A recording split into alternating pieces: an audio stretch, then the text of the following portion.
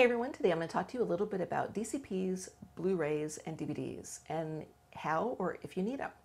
So I'm going to start with DVDs because that's going by the wayside very quickly. You've probably already noticed that there's not even that many DVD stores out there that you can go and rent DVDs from.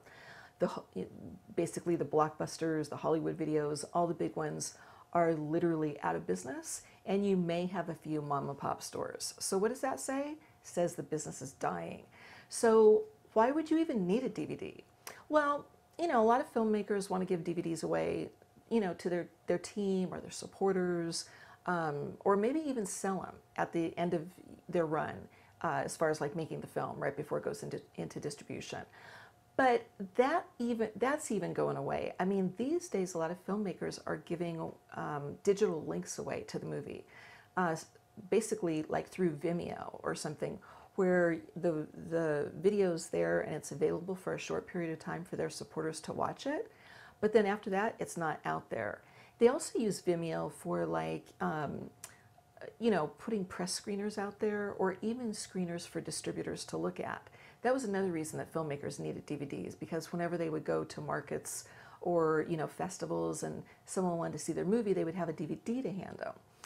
So that brings into play Blu-rays that was the next thing people were doing. People wanted a higher quality um, uh, output. So festivals were demanding or asking for Blu-rays as opposed to DVDs. And then a lot of um, just consumers were using Blu-rays. Um, so, so that's why Blu-rays were were popular, and that's and also you could deliver them. You could deliver films on Blu-ray equipment. But then DCPs came out, and DCPs are, it's called a digital cinema package. Basically, it's like a hard drive, and you put your film on that, and you can put a very, very high quality uh, version of your film on that that can show in a theater at like super, super high quality ranges. So there are a lot of festivals that are going towards that. I'd say in the last couple of years, and this is like 19, 2019, 2020, um, about half the festivals that we were talking to actually were requesting DCPs. And that's a huge amount. I mean, even in 2017, 2018, you'd get a few asking for a DCP, but not very many.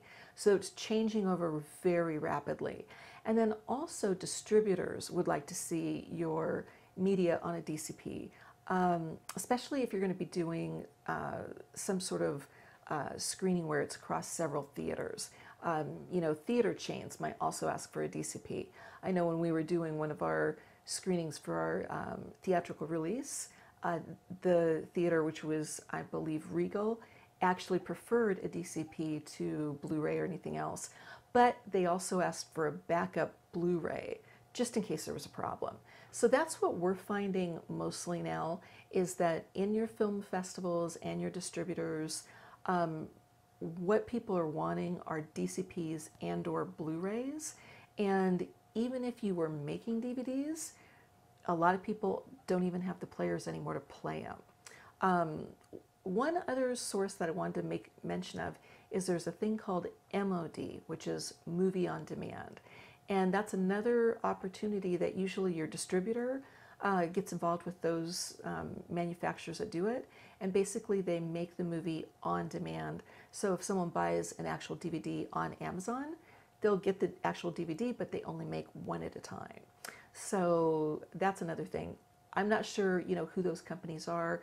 You'd have to go out and do some research to find out, but that's another opportunity. So if you did want to give a certain amount to say your cast or crew, you don't have to go to say Discmakers, who is one of the most prominent DVD makers, and order you know 500 or 1,000.